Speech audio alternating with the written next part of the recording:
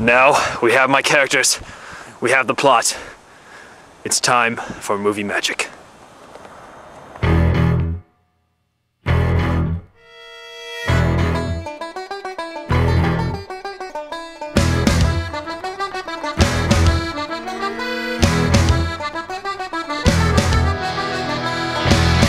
Dude, you left me in the woods out there with that he shit all alone. You know what that he shit was, man?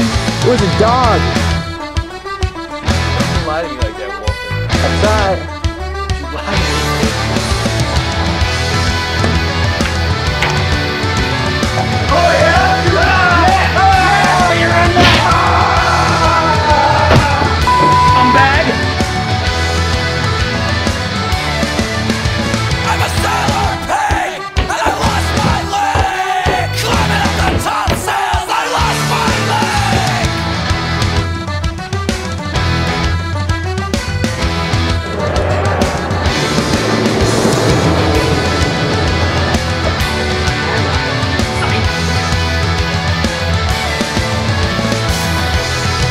No, no, no, I'm not gonna fly.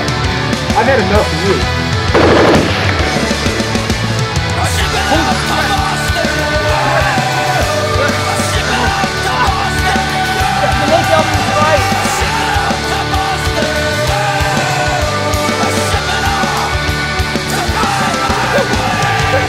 I was scared, but I was trapped in a circle of scarediness.